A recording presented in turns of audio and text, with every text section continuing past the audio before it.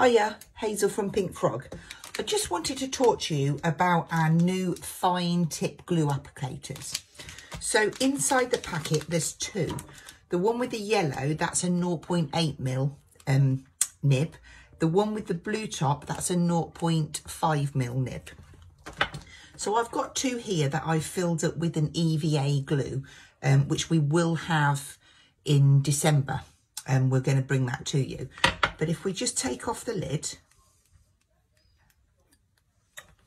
you can see there you've got a really nice fine nozzle.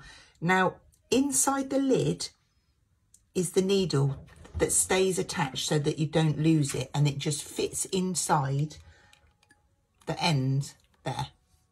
So you get a lovely free flow of glue effortlessly and that's the same for this one but this is a finer nozzle so the needle is a lot thinner there, but you're never going to lose it. So if I just grab some black card, I know it's shiny, but you're going to get the gist. If I just gently squeeze, that's the 0.5 mil. I just bring that up to you, okay? And then this one, this is the 0.8 mil.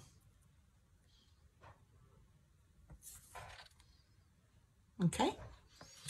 Now, what I have found out through a little bit of playing and talking to one of my good friends, just going to put the needle in. So to help the needle find its hole, pop your finger there and let it rest. And then you could just slide that and it goes down into the hole and then screws tight to keep it secure. Now, what we've done is we've taken a second set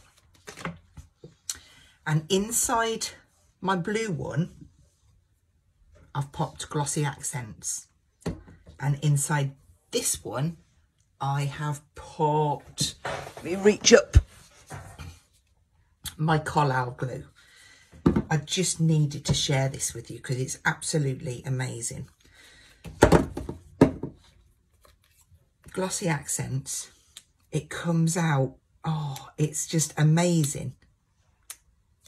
And then if you're doing that real fine work and you want to highlight eyes and centres of flowers, or maybe it's like little dots, you can achieve that with that lovely fine tip.